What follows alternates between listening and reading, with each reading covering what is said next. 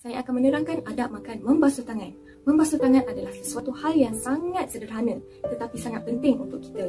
Bayangkan saja dalam Islam telah menyatakan untuk membasuh tangan untuk menghindari diri daripada terkena penyakit. Hal tersebut jelas dalam hadis Aisyah radhiyallahu anha berkata, jika Rasulullah sallallahu alaihi wasallam ingin tidur dalam keadaan junub, beliau akan berwuduk terlebih dahulu. Dan jika beliau ingin makan atau minum, beliau akan membasuh kedua-dua tangannya. Selepas itu baru beliau makan atau minum. Membasuh tangan selepas makan juga perlu. Seseorang yang tidak membasuh tangan selepas makan akan menyebabkan tangannya kotor dan akan membawa kemudaratan seperti serangga atau binatang tertarik kepada sisa atau makanan di tangannya. Nabi sallallahu alaihi wasallam berkata, sesiapa yang tidur dalam keadaan daging busuk di tangannya dan tidak membasuh tangannya dan tiba-tiba dikenai sesuatu, maka janganlah mencela selain dirinya sendiri. Baiklah, adab makan seterusnya menurut Islam ialah mengambil secupit garam mengikut sunnah uh, Nabi Muhammad sallallahu alaihi wasallam uh, Nabi Muhammad sallallahu alaihi wasallam telah menyuruh kita untuk mengambil secubit garam sebelum makan. Bagi mengelakkan 70 jenis macam penyakit.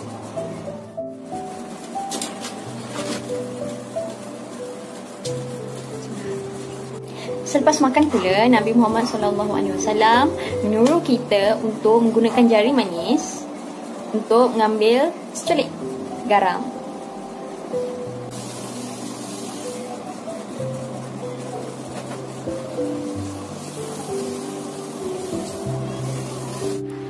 terdiri dari natrium klorida. Klorida yang ada dalam garam merupakan klorida yang sama yang direbeskan dalam perut iaitu klorida dalam asid hidroklorik yang membantu dan penting dalam pencernaan makanan.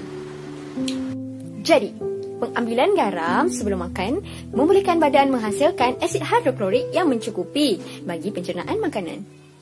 Saya akan jelaskan tentang adab-adab pemakanan. Memasukkan dengan makanan dengan tangan kanan maksudnya menyuapkan makanan tersebut dengan menggunakan tangan kanan. But why?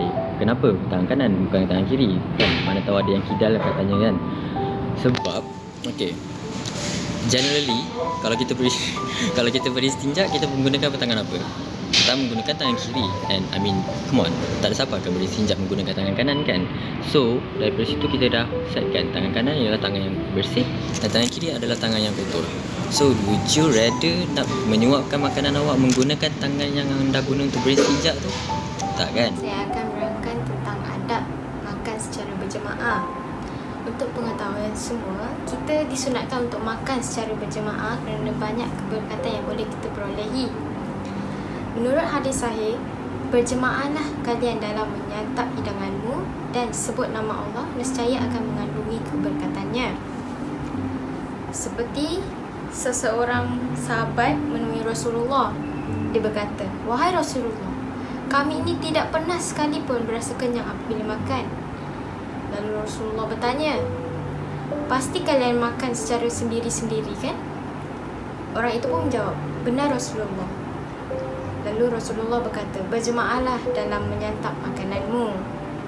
Selain itu, makan secara berjemaah boleh menghadirkan sifat berkasih sayang antara satu sama lain mengiratkan hubungan kekeluargaan, persahabatan, persaudaraan dan dapat mengukuhkan, mengukuhkan hubungan silaturahmi. Ini saya akan menerangkan satu adab makan iaitu makan secara berpada-pada. Jika makanan yang ada itu sedikit sedangkan tetamu terlalu ramai, maka janganlah makan sampai terlalu kenyang.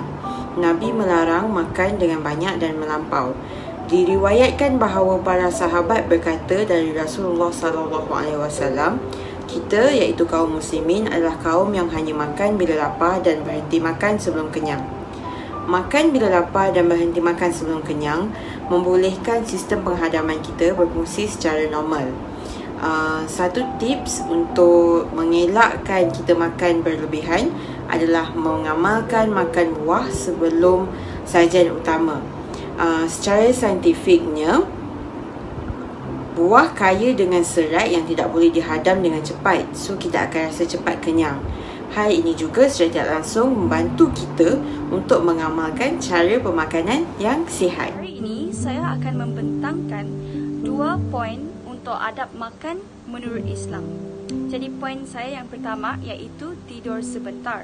Rasulullah akan tidur sebentar dengan kadar masa iaitu antara 10 hingga ke 30 minit selepas makan tengah hari iaitu setelah berzikir beberapa ketika. Adalah tidak digalakkan untuk terus tidur selepas makan kerana hal ini boleh menyebabkan masalah sembelit. Okey, poin saya yang kedua iaitu menghormati dan bertolak ansur.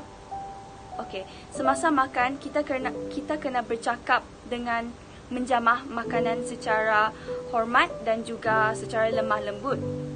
Okey, jika terpaksa meninggalkan sesuatu majlis um, atas urusan yang penting, kita perlu uh, kena makan dengan lebih awal dan meminta izin untuk pulang awal dari tuan yang um, handle majlis tersebut.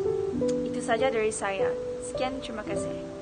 Saya ingin menerangkan tentang satu adab makan menurut Islam iaitu salah satunya menjilat jari jemari setelah selesai makan. Makan menggunakan tangan adalah kebiasaan Rasulullah sallallahu alaihi wasallam ketika makan dan salah satu kebiasaan Rasulullah lagi adalah beliau selalu menjilat jari-jarinya sampai bersih setelah habis makan. Namun begitu, perbuatan menjilat jari setelah makan telah menjadi budaya dalam waktu kita sehari-hari terutama bagi masyarakat Melayu di negara ini. Tahukah anda bahawa menjilat jari setelah makan itu salah satu sunnah Rasulullah? Beliau pernah bersabda, iaitu sesungguhnya kamu tidak mengetahui bahagian mana dari makanan kamu yang mengandungi keberkatan. Saintis menemukan enzim iaitu bahan pencerna makanan yang menghadamkan makanan di dalam perut kita banyak terkandung di celah jari-jari iaitu 10 kali ganda terdapat dalam air liur. Tak makan membersihkan mulut dan bersugi. Dalam Islam kita dituntut selepas bangun daripada tidur untuk membersihkan gigi dan menggosok gigi sebelum makan atau minum dan melakukan perkara-perkara lain. Rasulullah sallallahu alaihi wasallam menyarankan kita supaya bersugi atau dalam erti kata lain menggosok gigi selepas makan atau minum sebelum menunaikan solat. Allah sallallahu alaihi wasallam amat tidak menyukai kepada sesiapa yang tidak bersugi setiap hari. Bersihkan mulut, lidah dan gigi menggunakan sebaiknya siwak ataupun berus gigi dan menggunakan ubat gigi yang diyakini halal. Amalan bersugi adalah sunat muakkad. Sabda Rasulullah sallallahu alaihi wasallam, "Andai tidak menyusahkan umatku, nescaya aku akan menyuruh mereka untuk bersugi sebelum menunaikan solat."